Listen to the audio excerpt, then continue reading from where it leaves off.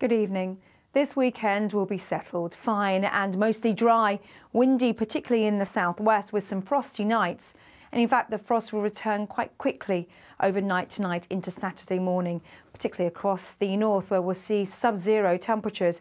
More clouds across the west country. Elsewhere, it's a clear start to Saturday morning with some sunshine bitterly cold outside. Quite a breeze coming in from the east, so cold along this east coast, and more cloud will arrive across the western side, that's Northern Ireland and Western Scotland later. Temperatures in shelter 8 or 9, 10 degrees Celsius, 6 along that east coast. And here's your outlook for the next few days into next week.